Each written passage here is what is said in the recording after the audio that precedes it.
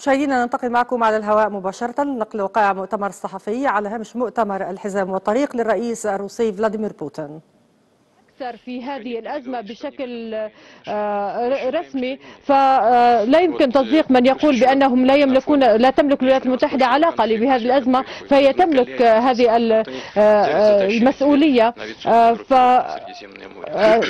كذلك لديهم مسؤولية فيما يجري بالشرق الأوسط فقد قامت الولايات المتحدة بتعزيز المجموعة الضاربة في البحر المتوسط وفقا قراري ستقوم القوات الجوفضائية الروسية وعلى أساس دائم بمراقبة في المياه الإقليمية الوضع في فوق البحر الأسود و هذه المقاتلات لديها صواريخ كنجال ومدى هذه الصواريخ أكثر من ألف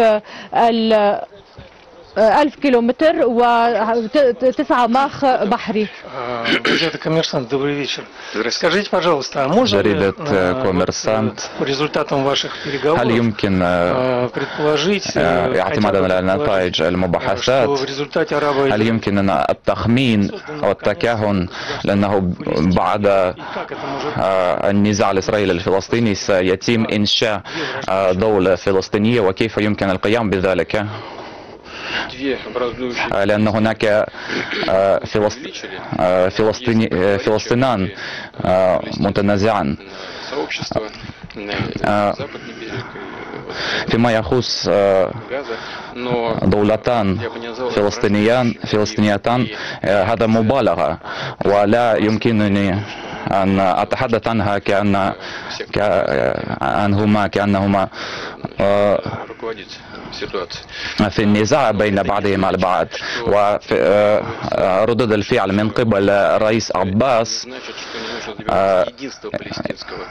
تشير إلى عكس ذلك. وهذا لا يعني أنه لا يجب من غير الضروري رفع المستوى التكامل بين الجزئين من فلسطين فيما يخص إنشاء دولة فلسطينية ف باعتبارنا لو لدينا موقف مبدئي وغير مرتبط بالأزمة الحالية.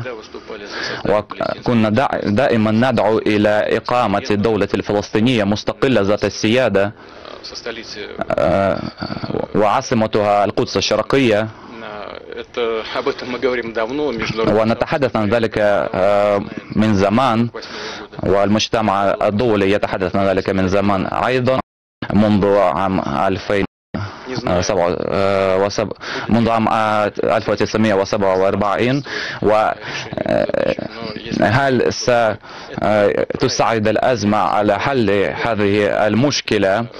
إذا كان كذلك ليكون صحيحا لأنه بهذه الطريقة فقط يمكننا التوصل إلى السلام طويل المدى. ولا يمكننا استبدال المشاكل المصيرية للشعب الفلسطيني بعد بحل مشاكل غير مهمة كما حولت الولايات المتحدة. هذا أمر مستحيل تماما. دعونا ناخذ سؤالين وكفى وكالة تاس أمس التقيتم مع رئيس وزراء المجر وخلال اللقاء تحدث بأنه تحدث حول وقف إطلاق النار في أوكرانيا وبعد الحديث معكم كما قال بأنه لم يكن متأملا فما الذي قلتموه له ولماذا أوربان قد فقد تفاؤله. وهل تمكنتم من التحدث عن هذا الموضوع؟ نعم لقد تحدثنا بشكل سريع عن الأوضاع وخاصة الأوضاع في صربيا ونحن نقاسمهم هذا القلق. أما فيما يخص رئيس الوزراء أوربان فلا يمكن القول بأن تفاؤله قد اختفى.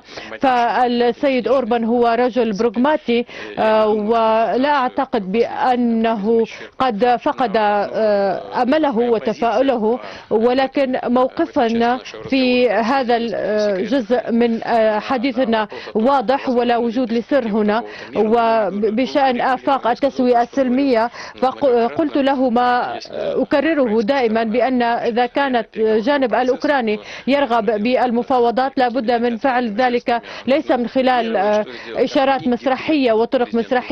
أولا لابد من إلغاء القرار بإلغاء أو حظر المحادثات والمفاوضات مع روسيا. وأظن أن هناك بعض الحديث عن ذلك. و الزملاء الذين كانوا يقولون سابقا بأنه يجب أن نخسر روسيا استراتيجيا على أرض المعركة. فقد غيروا لهجتهم اليوم ويقولون بأنه لابد من إجراء المفاوضات وبالتالي هذا تغير في المواقف ولقد حمدت في هذا التغير ولكن هذا غير كافي لأنه لابد من اتخاذ خطوات إيجابية وعملية في ذلك وإن تم اتهام السيد أوربان بأنه موالي لروسيا فهو سياسي مجري بحت وبكل معنى الكلمة وهو لكنه يدعم موقفه وليس لأنه موقفه متغير عن مواقف الدول الأوروبية الأخرى ولكن لأنه يملك تلك الشجاعة وتلك الرجولة التي لم تعد موجودة في الدول الغربية وبالتالي فهم يحسدونه وبالتالي يتهجمون عليه. لقد لقد